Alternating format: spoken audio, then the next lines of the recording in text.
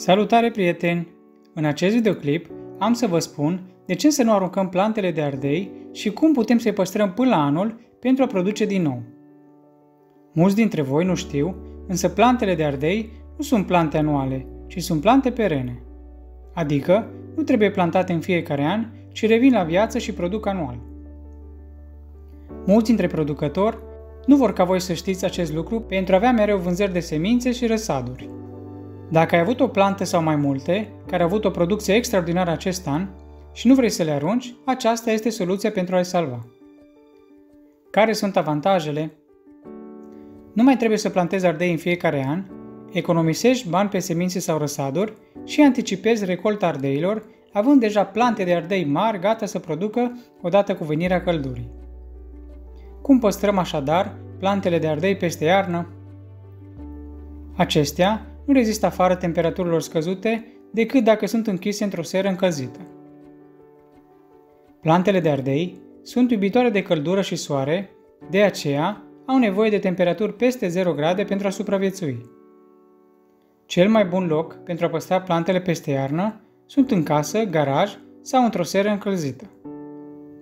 Tot ce trebuie să facem este să săpăm, să scoatem planta de ardei din pământ și să o punem într-un ghiveci mai mare.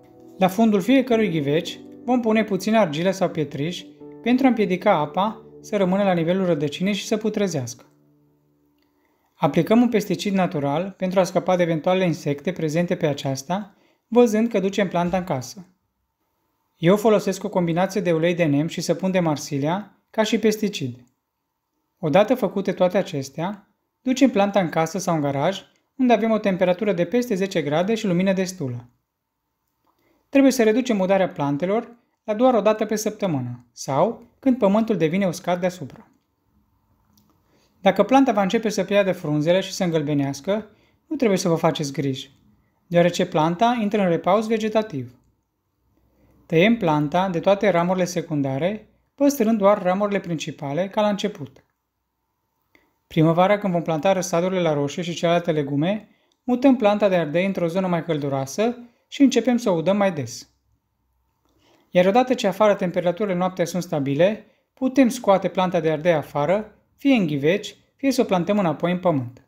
Vom avea așadar plante de ardei deja mari, care vor produce mult mai repede decât celelalte plante și dacă avem noroc, vom avea și o producție bogată. Dacă v-a plăcut acest videoclip și doriți să vedeți și alte videoclipuri interesante ca acesta, dați click pe videoclipul următor și nu uitați să dați like, să vă abonați la canal și să apăsați clopoțelul.